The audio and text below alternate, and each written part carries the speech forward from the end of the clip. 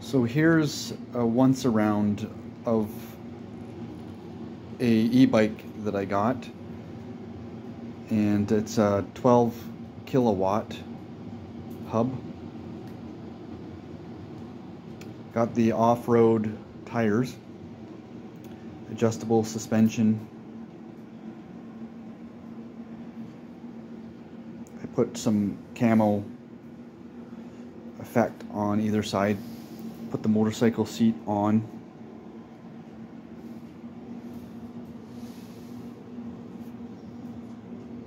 it's got the color display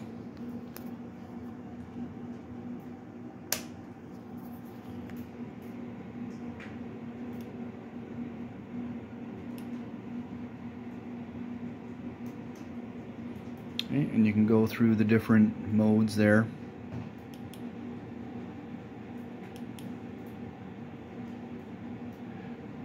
Headed out last night, went 1.3 kilometers.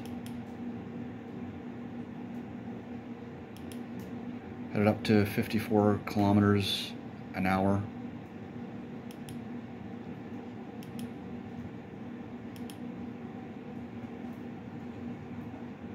and it has an, a pedal assist and I had that at two and it was mm, almost too much like it will uh, grab a hold of whatever you input into the pedals and it just accelerates it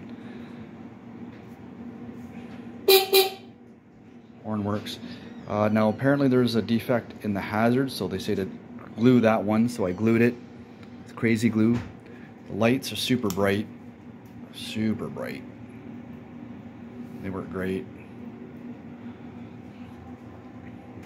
Adjustable shocks here.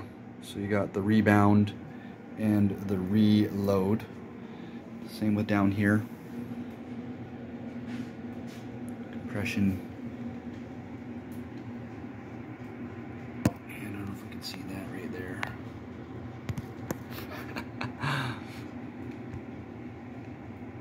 rebound. Okay.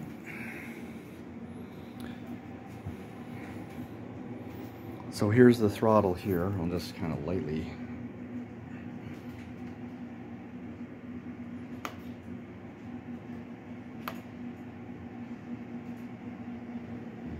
It's very sensitive, but not overly. It seems good.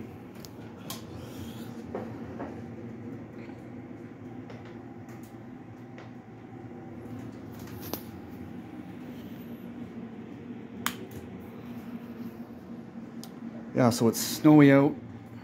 Took it in the snow, seemed to hook up okay. Probably could put some studs in the tires if I was gonna continue to drive it in the winter, like majorly.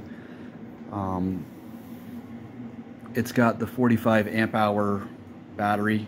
It's a 72 volt. Um, now I put some glue on the seat just because it looked like it wasn't really stapled very well.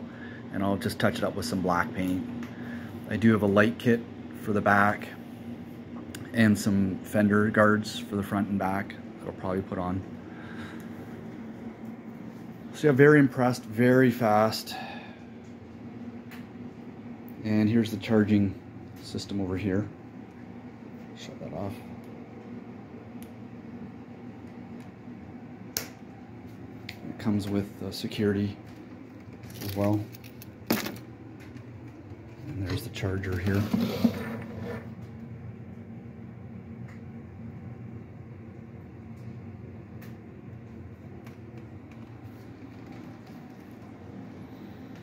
Thanks for your help with this, John. If you want more information, I'll try to put a link there on how you can reach John.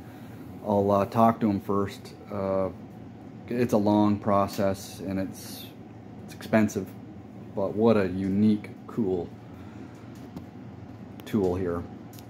Beautiful.